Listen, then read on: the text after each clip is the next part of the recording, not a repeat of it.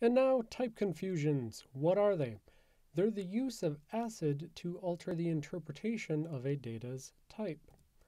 Now, me US guy no like lot word chunk, so instead of type confusion, we're going to call it Tycho, Tycho vulnerabilities. And Tycho might make you think of these remote controlled cars from the 90s where nothing was cooler than looking like a rat with sunglasses and a backwards cap, wearing sneakers and a t shirt over a t shirt. Or Tycho may make you think of the Tycho crater, named after Tycho Brahe. Of course, us English speakers like to mispronounce this as Tycho, which I recently learned when I had a student named Tico in one of my classes.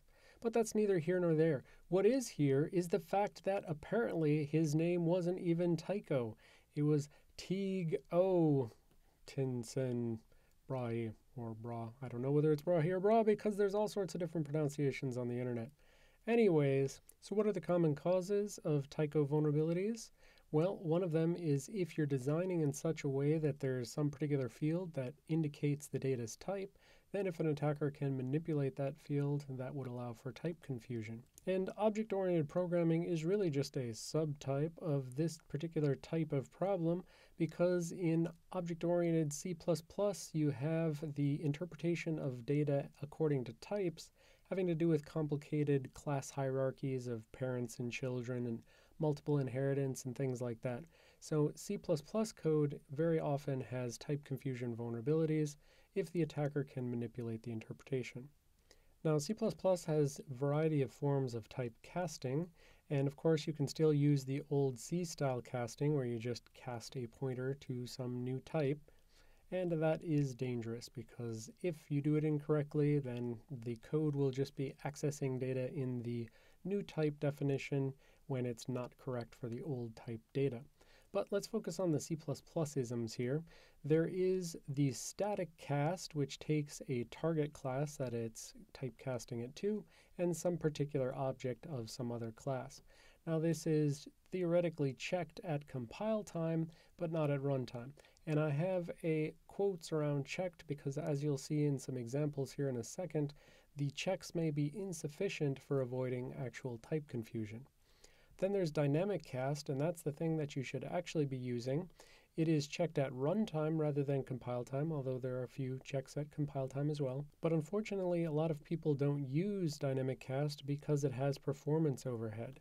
So this is safe, but not everybody is using it. So dynamic cast, you know, if you take anything away from the C++ casting, the only thing is use dynamic cast and nothing else. Of course, if you do that, then you have to do performance evaluations of what the implications are.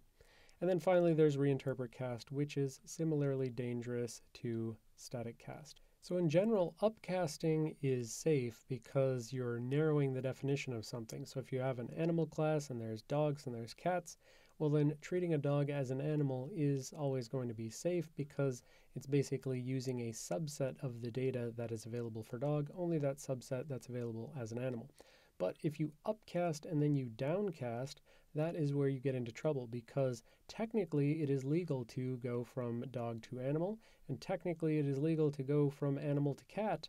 But if the source object was a cat and you static cast it to an animal, and then you static cast it down to a dog, well, you've just forced a cat to be interpreted as a dog, and although the compiler will say, yeah, going from an animal to a, a dog is totally fine, the reality is this is going to cause problems because now you will have access to members of the dog class which may or may not exist or may not be the correct and same type from the cat class.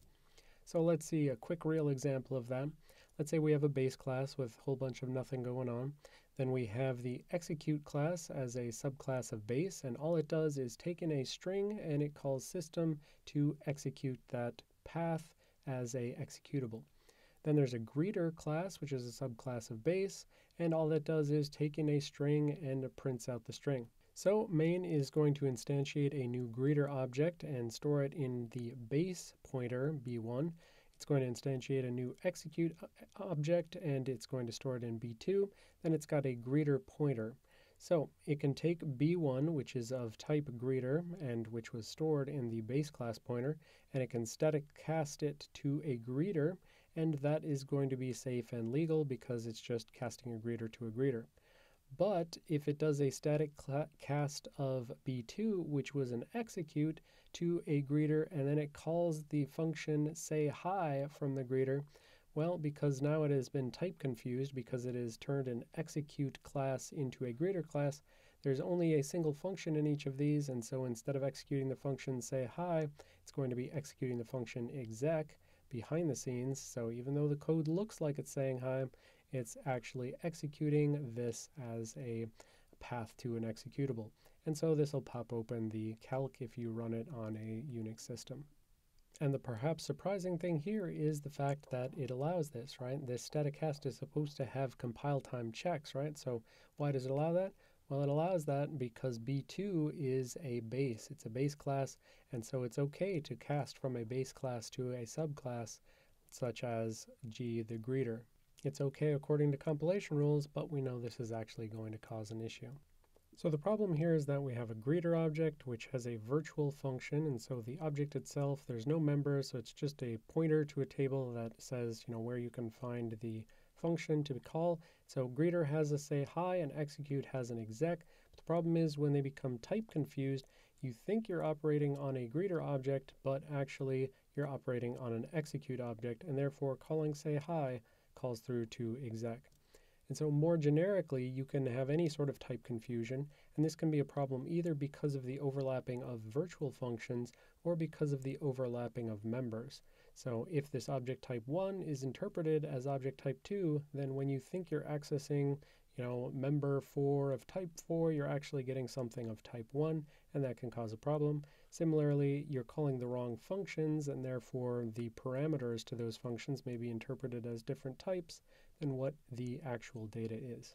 So if we return to this example and we change it to be a dynamic cast instead, well, then we'll actually get a compile time error. So we said dynamic casts are supposed to give you runtime errors and static casts compile time errors. So what's going on?